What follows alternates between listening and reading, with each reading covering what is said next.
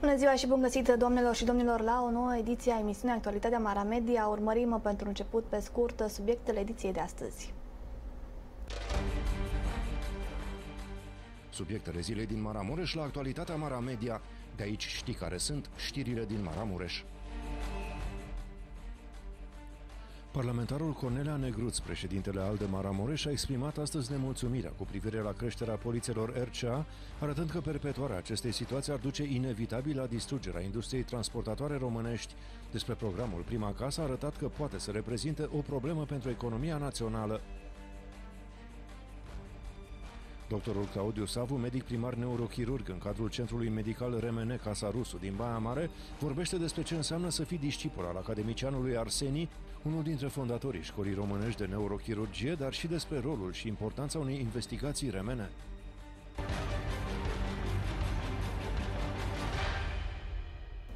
Parlamentarul Cornelia Negruță, președintele ALDE Maramureș, a exprimat astăzi în cadrul unei conferințe de presă nemulțumirea cu privire la creșterea polițelor RCA, arătând că perpetuarea acestei situații ar duce inevitabil la distrugerea industriei transportatoare românești. Despre programul Prima Casă a opinat că poate să reprezinte o problemă pentru economie, economia României. De asemenea, tot în cadrul conferinței de presă și-a arătat uh, scepticismul cu privire la realizarea lucrărilor la aeroportul Baia Mare, care sunt preconizate pentru finalul acestei luni. Bună ziua, mulțumim pentru participare. Am astăzi alături de mine pe vicepreședintele uh, al de Mara Mureș, domnul Cosmin uh, Lacatoș și reprezentantul tineretului la nivel județean pe domnul George Maxim. Um, am insistat mai mult pentru această conferință, având în vedere uh, problemele cu care Uh, toată țara uh, uh, s-a confruntat ieri, mă refer la polițele RCA. Eu, în calitate de reprezentant al Parlamentului în Comisia de Buget, iar domnul Acator în calitate de organizator și de reprezentant al transportatorilor din Maramureș.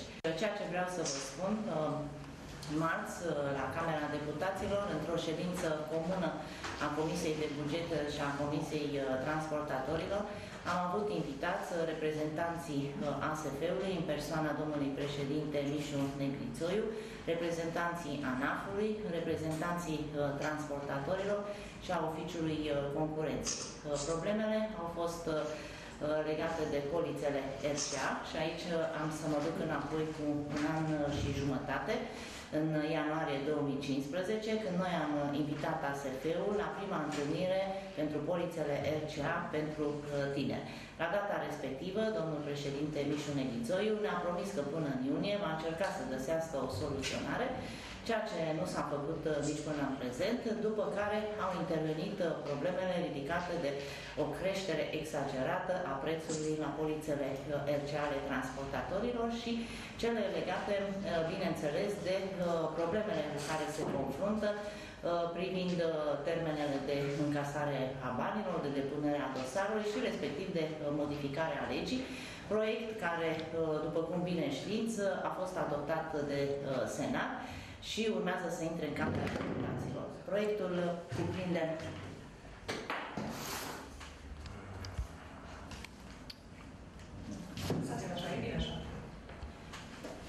Proiectul cuprinde uh, toate uh, cerințele pe care transportatorii le-au avut în decursul acestui an de zile. Uh, de asemenea, ele au fost manifestate în cadrul întâlnirilor care au avut loc și în ședințele comune ale Comisiei Buget, Finanțe și ale Comisiei de Transport mai puțin cea legată de prețul de referință, preț care, după cum bine știți, în ultima perioadă a crescut foarte mult. Explicația domnului președinte uh, Negrițoiu a fost că am asistat la o uh, politică de liberalizare a prețurilor care a început undeva în 2007 și uh, punctul culminant a ajuns undeva în 2015. Bineînțeles că pentru niciunul dintre transportatori și nici pentru noi, membrii Comisiei, nu a fost o explicație care să, să ne satisfacă, atâta timp cât și aici am să vă dau câteva Uh, prețul de referință. În 2012, un uh, RCA pentru un camion costa 300 de euro, În 2013, polița a ajuns să valoreze 700 de euro, iar tarifele au crescut la 1000 de euro în 2014 și 3500 la finalul lui 2015. Pentru un cap de tractor a ajuns chiar la 5000 de euro. Uh, aceasta la o clasă de încadrare de B0 uh, și um, majoritatea creșterii au avut loc după luna iulie 2016. Așa că nu mare mirarea ne-a fost când uh, transportatorii s-au decis uh, și aici în Maramureș uh, am înțeles că a fost a doua ieșire în, uh, în stradă. Uh, culmea este că marți, când uh, noi eram uh, convocați la uh, Comisia Comună Buget, Finanțe, Transporturi, împreună cu reprezentanții ASF-ului, la guvern se uh, vota o ordonanță de uh, urgență care la momentul respectiv uh, nu cuprindea și nu făcea nicio referire la prețul de referință. Transportatorii au uh, cerut înghețarea pe o perioadă de șase luni a prețului uh, de referință. Nu este, este adevărat o măsură uh, economică care Uh, pentru care noi nu vom fi uh, sancționați de către Uniunea uh, Europeană. De aceea consider că până la Uh, mă rog, ordonanța va intra în vigoare, dar uh, probabil că și uh, legea 499 din 2016 va ajunge la Camera Deputaților, forul decizional, și va cuprinde modificările și toate cerințele transportatorilor. Nu este normal ceea ce s-a întâmplat în România. Trebuie să cunoaștem faptul că la ora la care în data, deci în 2014, când domnul președinte Negrițoiu a preluat uh, mandatul de președinte al ASF-ului, pe piața asigurărilor existau 37 de societăți, de companii, în prezent sunt 34, datorită faptului că au intrat în faliment Astra, Carpatica și uh, Forte Asigurări. De asemenea, în această perioadă a scăzut foarte mult numărul de broker de la 601 de broker a ajuns undeva în prezent la 331 și toate acestea datorită cerințelor foarte mari de capital. Și reprezentantul ANAF-ului la întâlnire a spus că uh, au existat cam 14.000 de uh, societăți, din care 6.000 au eșuat și s-au retras tocmai datorită acestor uh, polițe de uh, asigurare. Ehm, știți că piața de uh, asigurări uh, contribuie la PIB uh, doar cu 0,7%. Să nu uităm că în Polonia procentul este de 5%, iar la noi în această perioadă, în loc să aibă loc o creștere, cu toate că a crescut valoarea polițelor, din potriva asistăm la o scădere. Din 2014 am asistat la o scădere de la 1,4 la 0,7%. Um, cam atât uh, am, am avut eu să vă uh, comunic uh, mai multe detalii. Vă voi da și voi reveni asupra acestui subiect după ce legea va trece și în Camera Deputaților, pentru că sunt multe uh, mențiuni, multe amendamente făcute la cele 45 de articole ale legii, inclusiv și aseară discutam, uh, am schimbat termeni din uh, plata se va face până la, dosarul se va depune până la, am modificat și am zis nu. Dosarul se depune nu până la maxim 30 de zile sau până la 30 de zile, se va depune în 30 de zile. Plata se va face în 10 zile. Deci sunt foarte multe astfel de amendamente. Ele, o parte a fost adoptată în Senat, probabil că și noi la Camera Deputaților uh, vom veni cu uh, alte uh, amendamente, de aceea probabil că săptămâna viitoare, nu săptămâna viitoare, că noi avem Liga de Ședul Local, peste două săptămâni ne vom întâlni și atunci uh, voi uh, putea aduce la cunoștința tuturor uh, transportatorilor și, bineînțeles, a populației județului toate modificările în bine care s-au adus prin această lege. Dacă oamenii au văzut că s-a rezolvat problema transportatorilor, acum vor apărea altfel de manifestări și privind legea conversiei, la fel cum a fost și prima casă. În prezent, trebuie să știți că proiectul Prima Casă Uh, noi am cerut uh, mai degrabă să fie votată legea converse decât, uh, acest, decât proiectul dării în plată. Proiectul prima clasă și acest program, este de fapt un program, este, reprezintă o problemă pentru economia României, deoarece în prezent ipotecile care sunt acordate de către stat totalizează undeva 3 miliarde de euro ceea ce reprezintă uh, aproximativ 2% din PIB-ul României. Piața imobiliară în prezent se bazează pe o garanție de 90% dată de către stat și nu trebuie să uităm că dacă dobânzile vor crește din nou, dacă oamenii vor intra în șomaj, Uh, dacă vom transfera totul iarăși pe uh, seama bugetului, uh, vom discuta din nou de darea în plată la prima casă și de nou de o problemă care va apărea în economia României. Um, am să mai revin la sfârșit cu o problemă pe care noi o avem terminând partea de probleme la nivel național, o problemă pe care noi avem uh, cu spațiul uh, și o problemă legată tot de aeroportul Baia Mare. Vreau să vă spun și eu câteva cuvinte despre Poliția Vercea și să nu uităm că anul trecut, în 17 decembrie, au început primele meeting-uri mai mari la nivelul național, unul care s-a desfășurat în București și unul la Baia Mare. Atunci am fost în jur de 100-120 de camioane, în jur de 200 de mașini de toate cu taxiuri și alte autoutilitare, autobuse și așa mai departe. Atunci, după acel meeting, în 22 decembrie 2015, la nivel la București, s-a semnat un protocol între ASF, asigurator și transportator, prin care ASF-ul veghează la bunul mers al poliților cea, adică la creșterea, creșterea poliților, prin care fiecare firmă trebuie să vină cu memoriu pentru ce urcă prețurile și să vină concret cu sumele care vor fi poliția RCA. Să nu uităm că în 2016 au început au început, la începutul anului 2016, poliția RCAU erau destul de mari în comparație cu cele din 2015 la cel început de an 2015. În august 2016, în Baia Mare și la nivel național, ține minte că în 2 august am avut tot așa un meeting de protest, tot uh, pentru Poliția RCA, atunci împreună cu colegii mei din transportul rutier din Maramureș, am depus și un memoriu către domnul uh, prefect, domnul Lupuț, care dânsul uh, a fost deschis dialogului cu noi și chiar a făcut și dânsul memoriu mai departe înspre ASF și Guvern.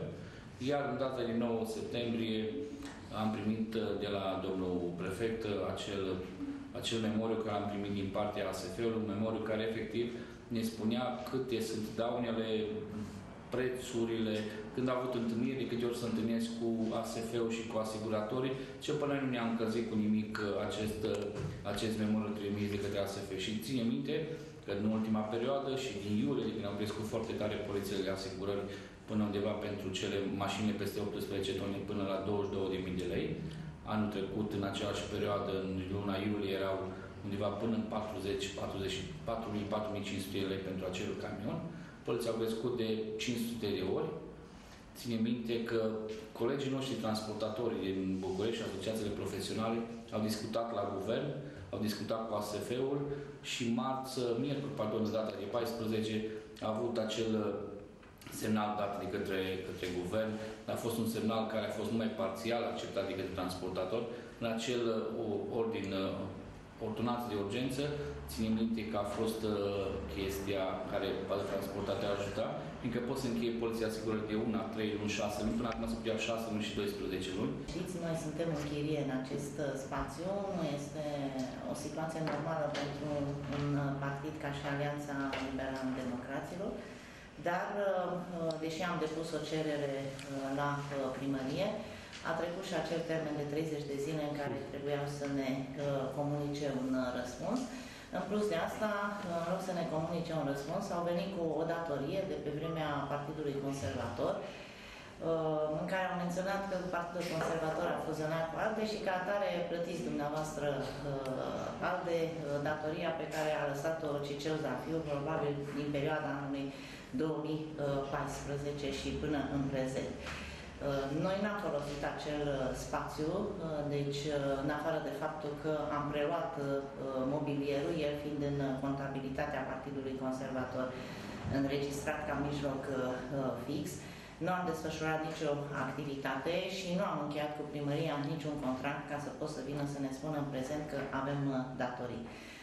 Nu este normal ca singurul spațiu care ne-l oferă este cel care a fost, mi se pare, al PPDD-ului undeva la capătul orașului pe uh, Republicii. 64. Așa, uh, ne găsim nicio soluție în situația în care, conform unei anexe pe care ne-au trimis-o privind datoria pe care o datorează PC-ul, apare că și PNL-ul și PSD-ul beneficiază de câte două sedii în centrul uh, orașului.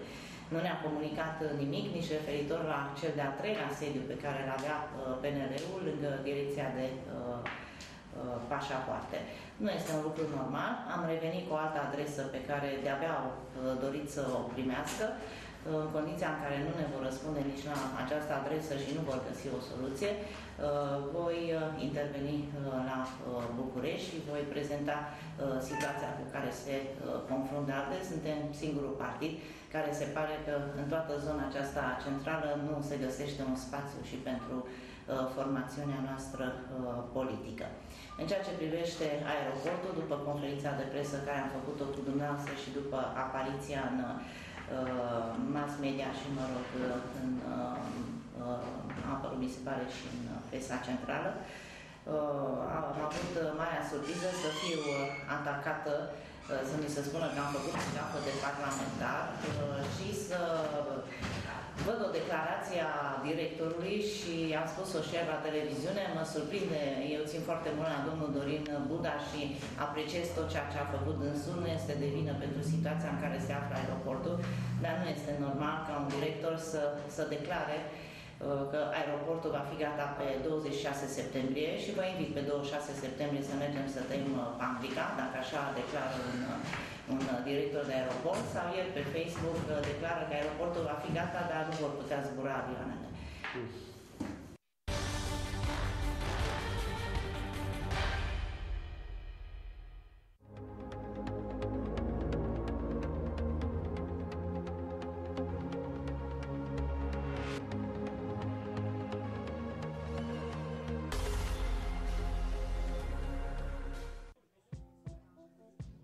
Casa Verde, depozitul unde casa ta prinde viață. Vindem la cele mai bune prețuri materiale de construcții, de finisaj interior și exterior, instalații termice și sanitare, vopsele, lacuri, scule și unelte și oferim bonusuri în funcție de valoarea achiziționată. Te așteptăm cu prețuri promoționale începând de la 19 lei, trupătrate la capete de stoc pentru gresie și faianță, în limita stocului disponibil.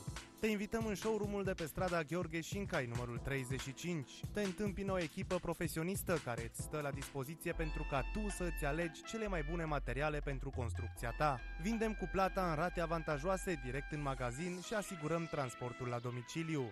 Casa Verde e pentru casa ta.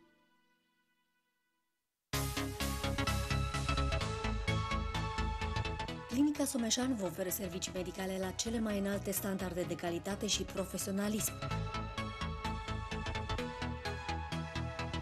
Tehnologia de înaltă performanță, pregătirea de specialitate și calitatea umană a personalului clinicii Someșan ne recomandă ca o instituție medicală de prim rang.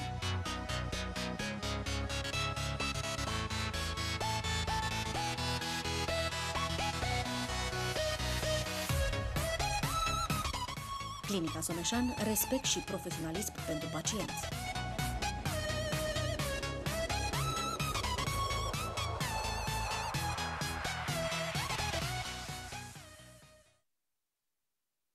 Universitatea de Vest Vasile Goldiș din Arad, filiala Baia Mare, organizează înscrieri în învățământul universitar nivel licență la Facultatea de Științe Economice, Informatică și Inginerie, specializare Marketing, Contabilitate și Informatică de Gestiune, Managementul Dezvoltării Rurale Durabile, Geografia Turismului și Facultatea de Științe Socio-Umane și Educație Fizică și Sport, specializare Pedagogia Învățământului Primar și Preșcolar.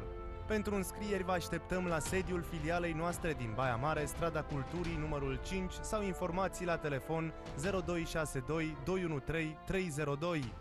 Educația ta este prioritatea noastră. Unic în Maramureș, baza de agrement Holiday.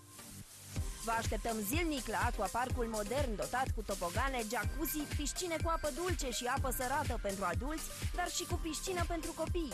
Vă oferim cazare în cele mai bune condiții, iar bucătăria noastră vă stă la dispoziție cu linie de autoservire în sezonul estival și cu bucate tradiționale pentru toate gusturile. Oferim condiții ideale atât pentru odihnă cât și pentru tratament team building, dineuri sau petreceri private. Vara aceasta distrează-te cu noi! Distrează-te la baza de agrement Holiday, Ocna Șugatag, strada Dumbravei, numărul 20.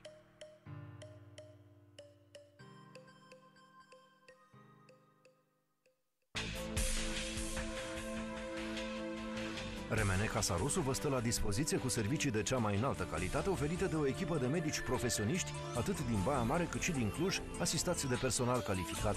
Remene Casa Rusu vă oferă soluția pentru dureri de cap, de spate și de abdomen sau pentru dureri la șolduri, genunchi sau la coate. De asemenea, Remene Casa Rusu vine și în sprijinul pacienților cu claustrofobie. Remene Casa Rusu. Primul rămâne primul. Unde alergi așa, Costică? Ah, sunt foarte grăbit. Vine fică mea acasă și ni s-a stricat frigiderul. Îmi trebuie alt frigider și o mașină de găurit și niște cratițe noi, plus o găleată cu mop și niște biberoane pentru cel mic. Vine cu copii? Da, și vreau să iau și niște jucării lui Gigel. Stai, Costică, nu ai auzit? S-a deschis noul magazin Royal. Acolo le găsești pe toate. Da? Unde? Pe strada Traian, numărul 9. Și au frigidere Heiner cu 5 ani garanție. Și prețuri mici, chiar foarte mici. Dacă te grăbești, prinzi și un cadou. Mă duc chiar acum. Royal, magazinul tău.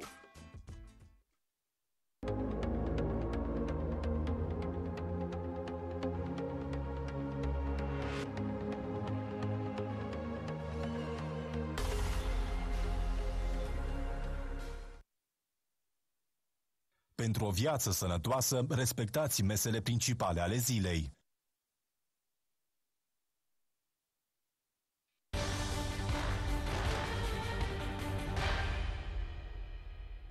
Doctorul Claudiu Savu, medic primar neurochirurg în cadrul Centrului Medical RMN Casa Rusu din Baia Mare, vorbește despre ce înseamnă să fii discipol al academicianului Arseni, unul dintre fondatorii școlii românești de neurochirurgie, dar și despre rolul și importanța unei investigații RMN.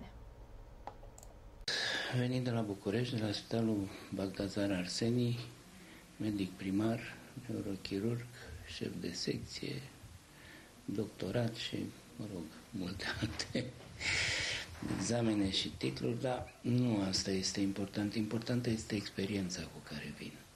Eu sunt unul din uh, elevii direcției profesorului Arseni, care a fost cel mai mare neurochirurg al românilor și care port un respect deosebit pentru că este cel care într-adevăr a ridicat neurochirurgia la o valoare foarte mare. Uh, ce pot să vă spun? Un chirurg care nu operează este ca un luptător fără pușcă sau ceva în genul ăsta. La vârsta asta încă mai pot opera și e păcat pentru experiența pe care o am. Patologia este foarte mare și foarte variată și se pot face lucruri foarte frumoase, cu un pic de bunăvoință. Din păcate, constat că marea majoritate a doctorilor, cel puțin din specialitatea mea, se mulțumesc cu foarte puțin, cu cât au lucrat, cu cât au apucat să știe. Lumea a evoluat, nu numai în domeniul medical, dar peste tot. Și se țin congrese anuale, avem invitați din străinătate, profesori care vin să spună ce fac ei. Vă dați seama, schimbul ăsta de de experiență este benefic pentru oricine, nu în specialitatea asta medicală. Dar refuză. Se mulțumesc cu puțin, din păcate. Și oamenii au mare nevoie de, de medici.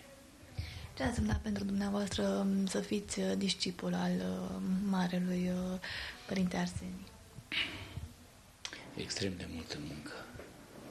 Foarte multă muncă nu îmi pare rău de nicio clipă pe care am petrecut-o cu colegi mai în vârstă care nu mai există la ora actuală.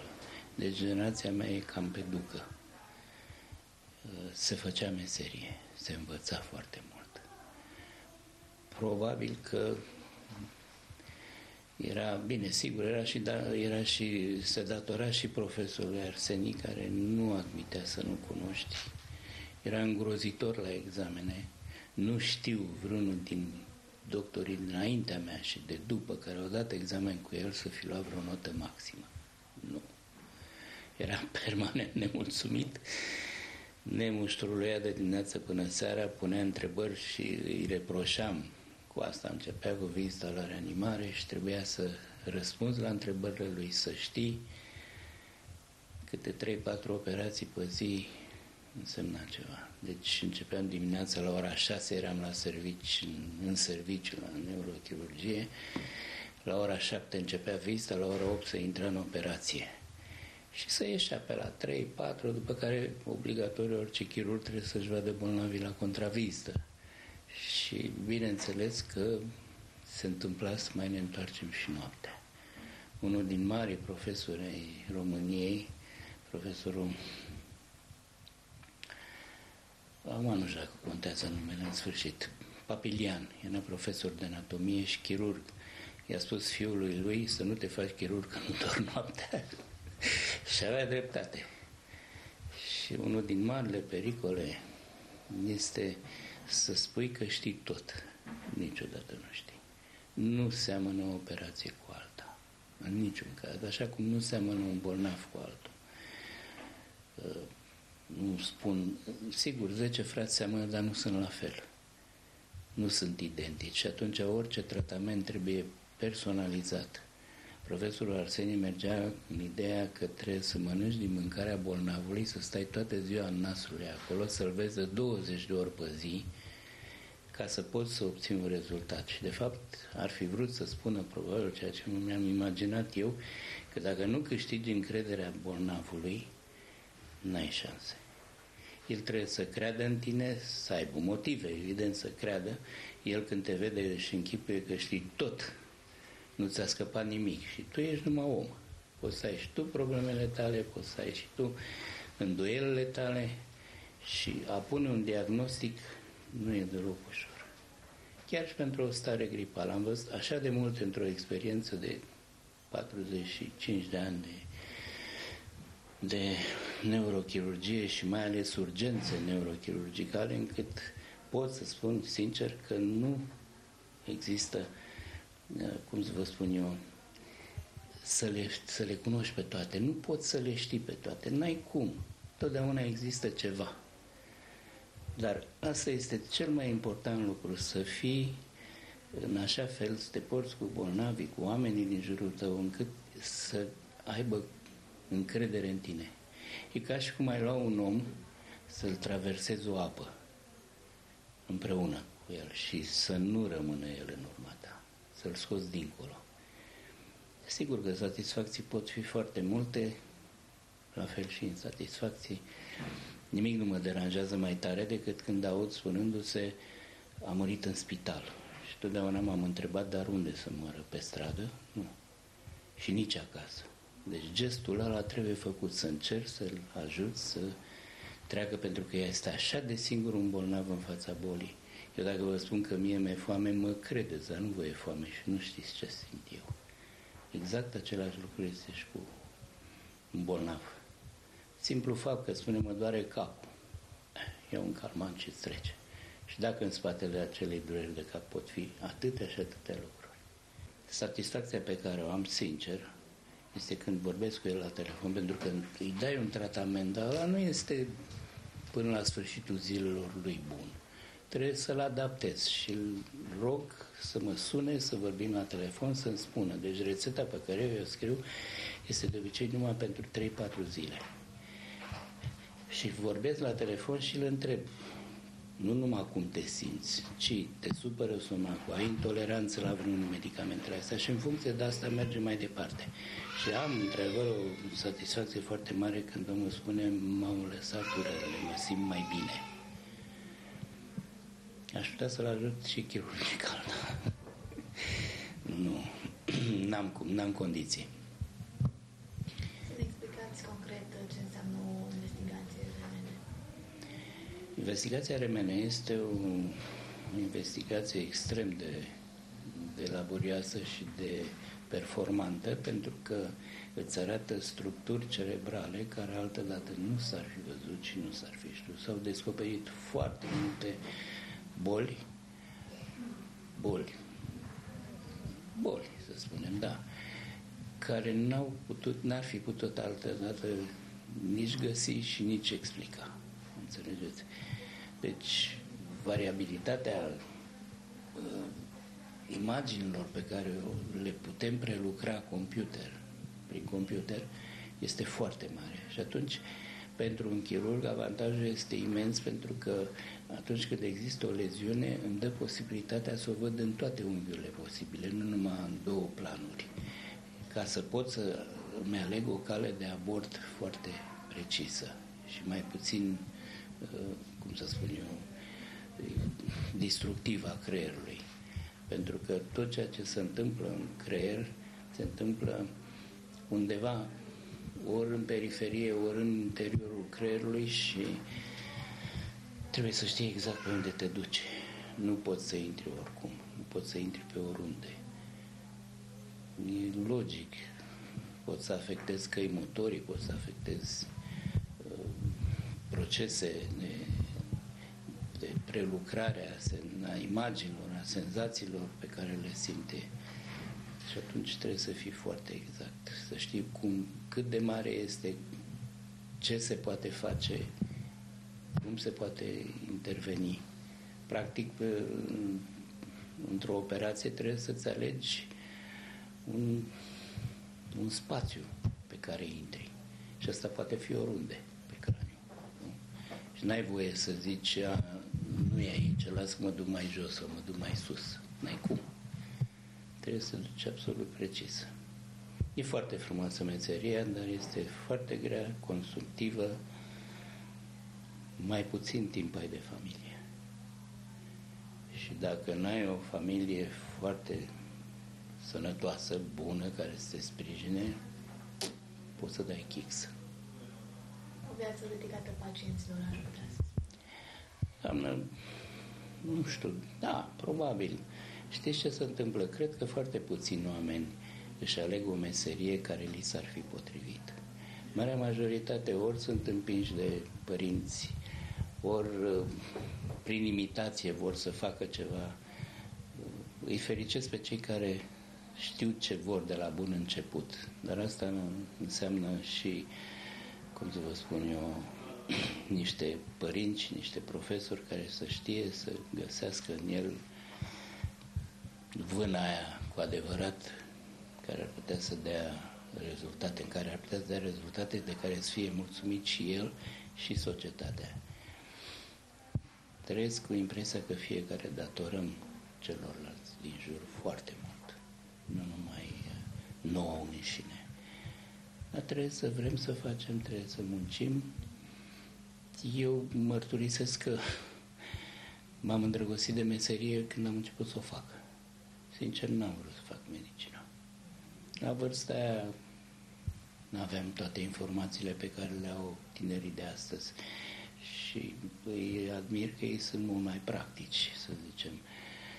Aș vrea să mă fac inginer sau aviator sau mai știu eu ce Dumnezeu câte mi-a trecut prin cap. Părinții mei au zis să la medicină. Te duci la medicină pentru că la matematică eram complet din afară. Nu mi-a plăcut. Și am zis, dacă tot m-am apucat, hai să o fac ca lumea. Și am ajuns să fac medicină. Dar sunt convins că în momentul în care te apuci să faci ceva, indiferent ce, trebuie să-l faci cum trebuie. Nu poți să faci o clanță numai pentru tine bună și pentru ceilalți să rămână cu ea în mână. Nu? Suntem așa delegați unii de alții cum nu vă dați seama. Nu s-ar putea construi niciun fel de societate, nu s-ar putea construi niciun fel de sentiment fără să fim legați unii de alții. Depindem foarte mult. Aș vrea să revenim puțin la investigația RMN, uh, să ne explicați care sunt pașii pe care trebuie să-i parcurgă un pacient uh, pentru a realiza o asemenea investigație medicală? În primul rând, o consultație, o discuție cu un doctor, pentru că să poată să-și dea seama cam de ce ar fi nevoie. Și în funcție de asta, sigur că doctorul poate să-i uh, conducă investigația respectivă știind clinica, semnele pe care le are. Organismul este un lucru extrem de complex, o mașinărie complexă, foarte complexă și foarte bine pusă la punct. Și nu poți să spui că uh, dacă te-a călcat pe tine pe degetul mare, uh, nu simt uh, efectele și alte organe. Nu e adevărat, sunt foarte legate. Deci trebuie să poți să localizezi perfect ce are nevoie, pe care, sigur, se face remeneul respectiv și în funcție de ceea ce vezi acolo și de ceea ce prezintă bolnavul, și asta este foarte important, pentru că radiologul vede numai o poză, ca să spun așa, și el ce vede acolo scrie. Dar tu care știi clinica, tu care știi semnele pe care le prezintă bolnavul, poți să ai un tablou mult mai complet al uh, bolii și să poți să-l ajuți în felul ăsta. Variabilitatea remeneului este extrem de mare, numai că trebuie să știi să-l folosești, să-l întrebuitezi la maximum. Sigur, defalcat pe boli, se pot face remeneuri cu substanță de contrast, remeneuri cu angiografii în care să vezi vasele cerebrale dacă sunt afectate. Mă rog, astea sunt detalii, sunt amănunte. Cam cât durează o investigație? În general, cam 20-30 de minute. Depinde de localizare. Sigur că investigațiile pelvine sau abdominale, ale durează mai mult. Pot să fie și 40 de minute, 45 de minute. Dar sunt foarte ușor de suportat la aparatul ăsta pentru că aparatul este foarte modern, imaginile pe care le obține sunt uh, de primă mână, foarte clare și în felul ăsta pot să văd foarte multe.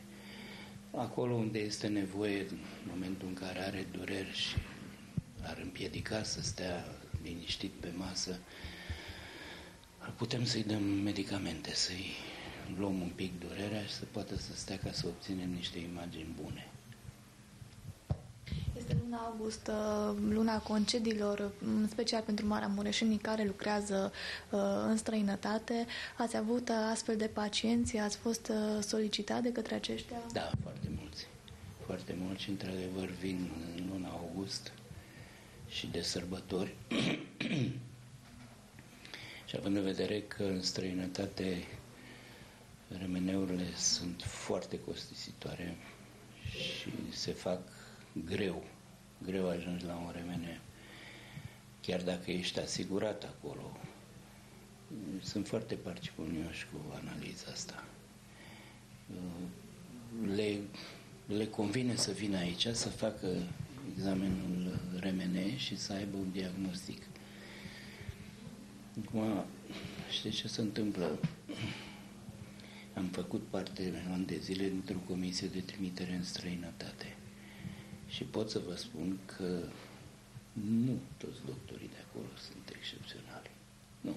Au și ei destui doctori care habar nu au sau pe care nu interesează decât beneficiile materiale, încât uh, noi ne cunoaștem mai bine populația și putem să-i ajutăm altfel decât decât străinii. Am întrebat uh, și pe domnul Rusu, vă întrebă și pe dumneavoastră în calitate de medic specialist.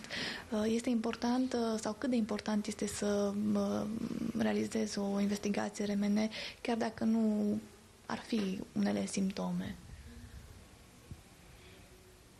Da, de foarte multe ori simptomatologia poate fi atât de bogată încât să crezi că la prima vedere că este cine știe ce tumoră, cine știe ce se întâmplă în creierul omului. Și atunci uh, remeneul lămurește lucrurile foarte ușor. Sigur că uneori anumite boli trebuie urmărit, pentru că și remeneul are și el niște limite, vede până la un punct. Dacă este prea mică tumora, să spunem, da, un exemplu, poate să nu o vadă. Și să existe simptomatologie.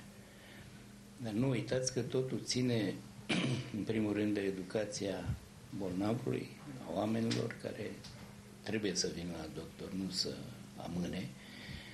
Și în al doilea rând, ține de accesibilitate.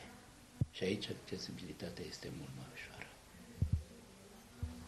Vă întreb uh, acest lucru pentru că am fost uh, întrebați uh, și noi la, la rândul nostru de către cineva care s-a întors acasă din străinătate din punct de vedere medical, clinic, sănătos, dar avea nevoie de o certitudine și în acest caz a întrebat oare să-mi fac un RMN, să am uh, un rezultat al uh, unor analize, să, da.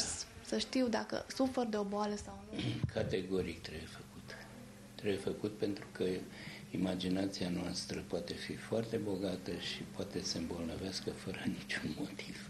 Să-și închipie bietul om că are cine știe ce și asta să-i afecteze și profesiunea și viața familială și viața lui personală.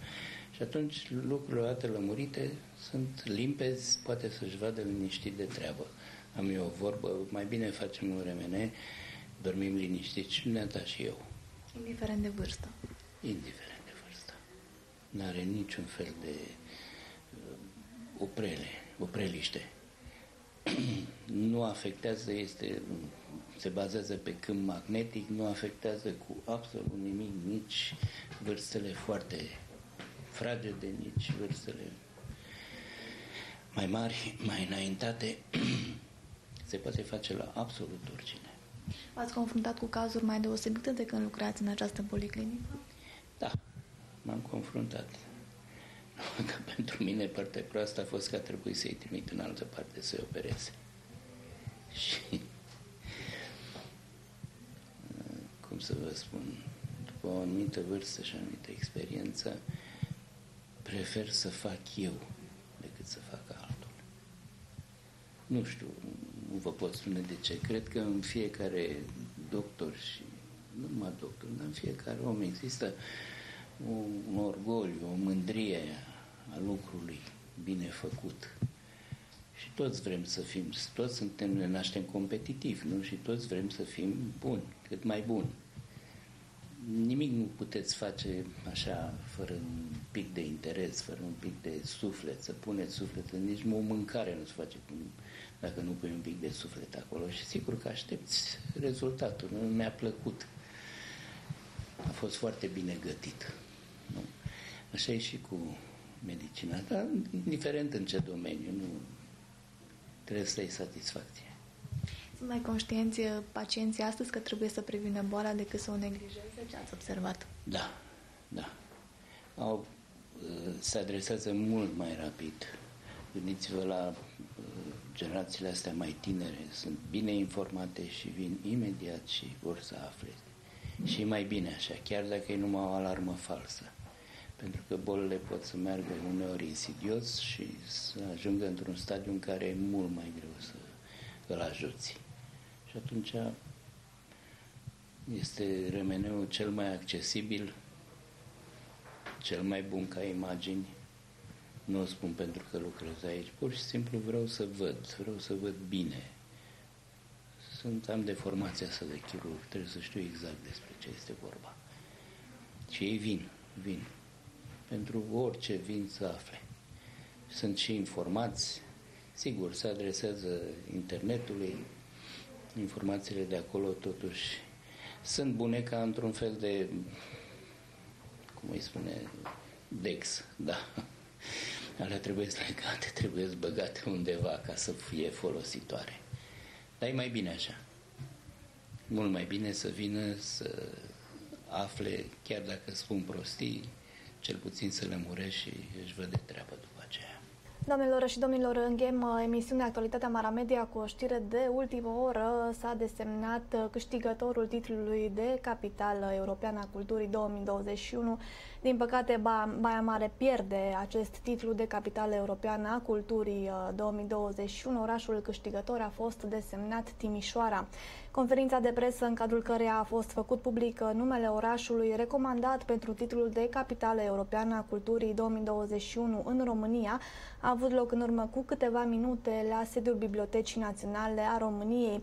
Baia Mare nu a reușit așadar să impresioneze juriul de experți, rezultat care dă de înțeles că municipiul nostru nu este încă pregătit să devină o capitală europeană a culturii.